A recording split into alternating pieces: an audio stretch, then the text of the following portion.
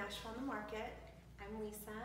We're the two parts of this brokerage. I'm the broker, and Lisa does kind of everything behind the scenes. Yeah, we are um, just a small boutique brokerage here in Middle Tennessee. Um, we specialize in residential real estate in Nashville, um, Franklin, Brentwood, and kind of surrounding areas. Um, something that sticks out about us is we like to be very hands-on through the process. We know this is a, a big transaction for individuals or families, and we like to kind of walk you along the process so you're never wondering what's coming up, what to do next. We're kind of there for you, always available.